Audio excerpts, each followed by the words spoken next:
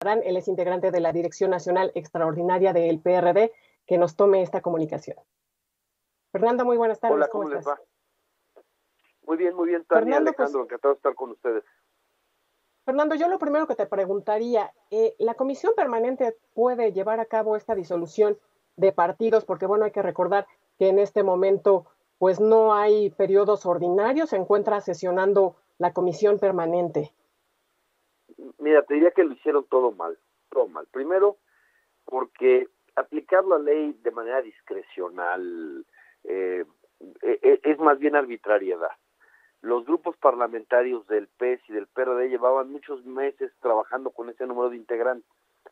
Segundo, había un acuerdo de la Junta de Coordinación Política que permitía esa, esa existencia porque los grupos parlamentarios se forman al inicio de la legislatura y, y con eso se puede, eh, digamos que eh, eh, quedan ya en firme con ese argumento, la Junta de Coordinación Política acordó la permanencia tanto del PRD como del PES.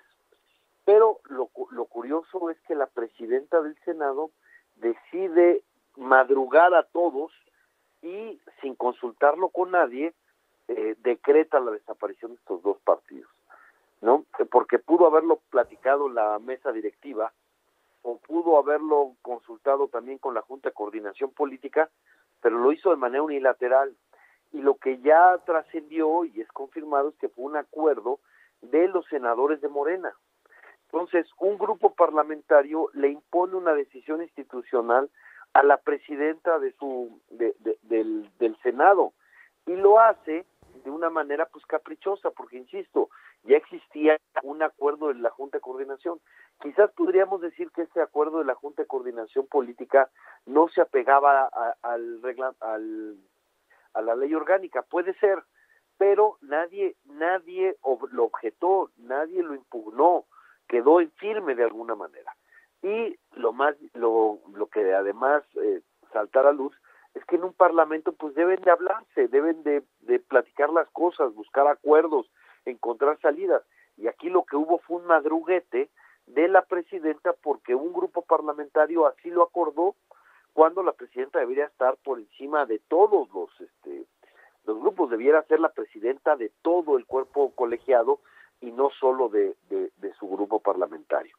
Y eh, lo hacen pues de una manera eh, más bien revanchista, porque recordemos que el día de ayer eh, Lili Telles renunció a la bancada de Morena y se fue a la del PAN. Parece un, una acción quizás para tratar de que la atención se fuera a otro lado o un golpe al bloque opositor, pero lo hacen pues muy mal, yo diría con una forma cavernaria de actuar, muy distinto como debe de ser un parlamento en donde pues tienen que platicarse las cosas, encontrarse opciones y no simplemente un madruguete después de que, insisto, estos grupos parlamentarios venían trabajando desde hacía meses con en esas condiciones y con un acuerdo de la Junta de Coordinación Política, un descontón, un acto, pues yo diría medio eh, propio de trogloditas, ¿no? Yo creo que ni el PRI se atrevió a tanto en sus, en sus años de control absoluto hacer este tipo de, yo diría, de, de, maniobra o descontones, y parece, insisto, una revancha. Ahora,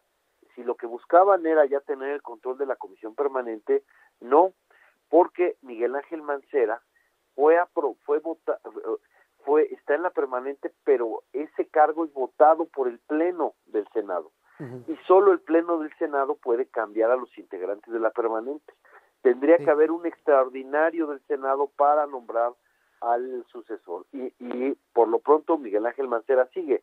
Ahora, eh, creo que lo mejor pues será tratar de eh, a completar los grupos parlamentarios, digamos, eh, por lo pronto en el PRD, para que no haya una espada de Damocles encima. Pero es evidente que se actuó, pues yo diría, de de maneras muy alejadas a lo que debería ser la, práctica parlamentaria civilizada. Fernando, déjame preguntarte, eh, Miguel Ángel Mancera había dicho que pretendía reunirse con Ricardo Monreal para saber los términos y las condiciones de este acuerdo y saber si se echaría para atrás.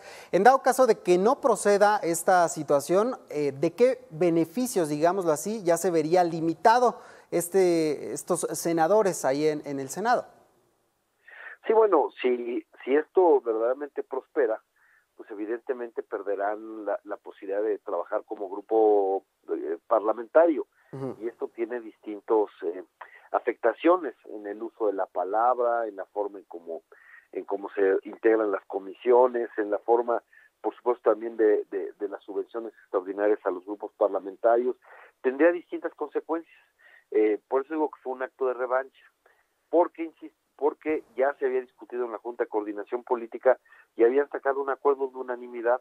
Lo que hizo la presidenta es un acto caprichoso eh, y, que responde a un acuerdo de un grupo parlamentario, ¿no?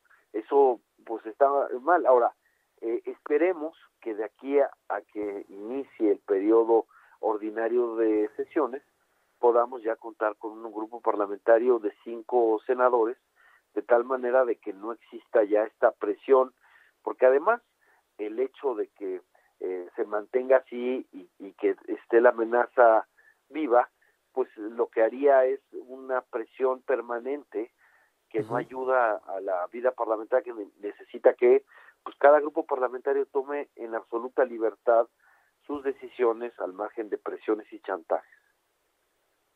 Oye, Fernando, ¿qué más ves de fondo aquí en este tema? Porque efectivamente el primer paso, bueno, pues lo que desencadenó todo ayer fue pues que Lili Telle se fue al PAN, pero hay que recordar que eh, en mayo pasado el bloque opositor pues detuvo que se llevara a cabo este periodo extraordinario en donde buscaban pues aprobar esta ley de emergencia económica que, que permite que el presidente pues le meta mano y mueva mueva el presupuesto pues a su antojo sin la necesidad de recurrir eh, pues al Congreso, que, es lo que debe lo que debe ser. Sí, sí, claro, quizás porque pues la verdad es que son son poco profesionales los los legisladores de Morena.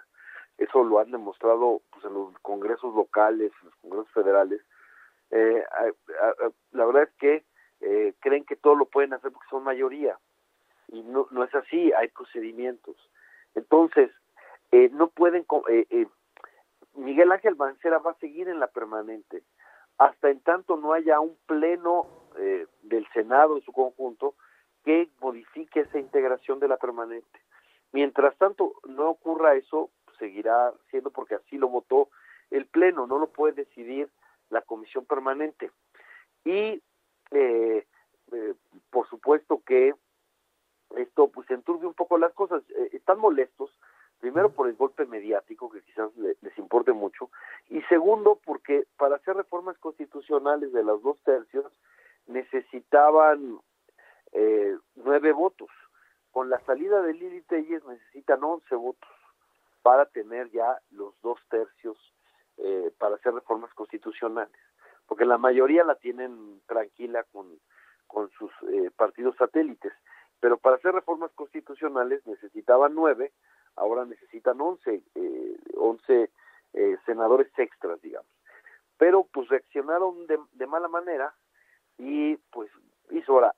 Eh, vamos a ver qué decide la Junta de Coordinación Política, qué es lo que platica Miguel Ángel Mancera con, con Ricardo Monreal. eh, no sabemos si Ricardo Monreal estaba de acuerdo con esta eh, eh, este acto, digamos, caprichoso, intolerante, porque además golpea la pluralidad de un órgano que así debe de ser, ¿no?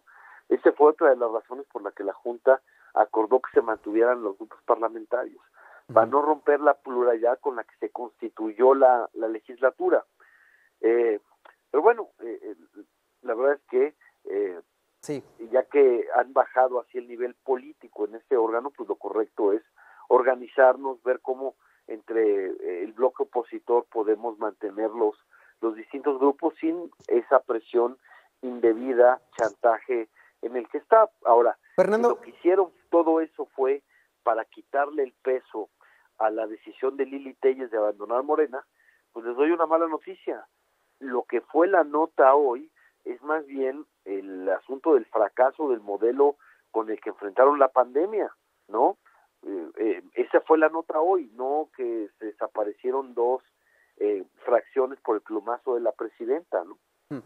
Oye, Fernando, ¿descartarías que estos tres senadores del PRD vayan a ser cooptados por Morena o por algún otro partido?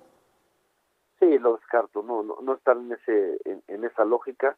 van a mantenerse y yo espero que, se mantenga el grupo.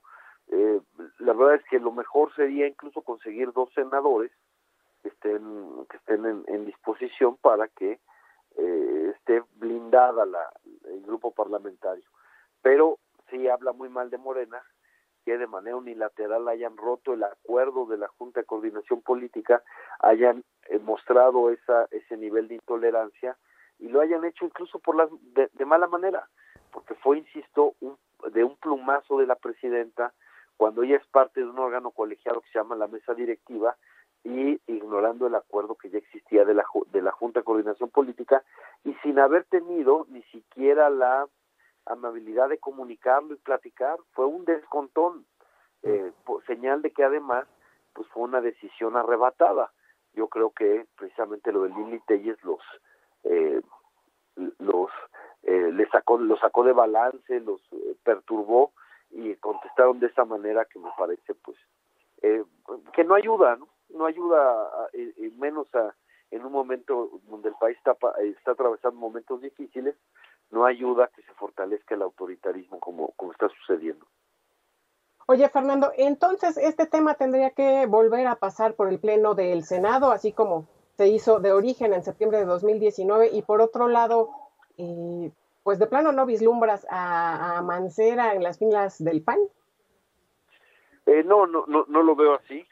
Yo más bien creo que vamos a hacer lo que se, lo que podamos, eh, buena política para mantener el grupo parlamentario en el en el del PRD y y sí, bueno, yo espero que antes de que llegue ese pleno del Senado, pues eh, quede ya en firme el grupo parlamentario del PRD para quitar esa, esa amenaza, ¿no?